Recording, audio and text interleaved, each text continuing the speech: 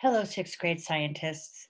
So today you'll be doing your end of unit assessment for geology on Mars. So throughout this unit, we've really been looking at using scientific tools to help us to answer a question, what geologic process formed the channel on Mars. So last week, we wrote our final scientific argument about that question. And um, so far, many of you did a really good job on that. So today, we're really going to be thinking about the scientific tools that we've learned to use.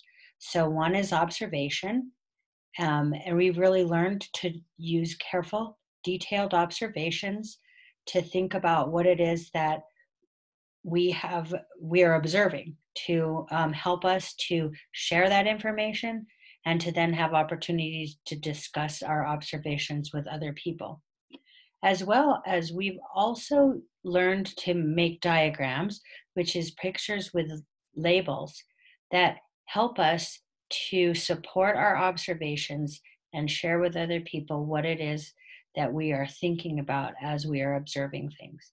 So today you will be looking at two videos that has to do with stream tables again.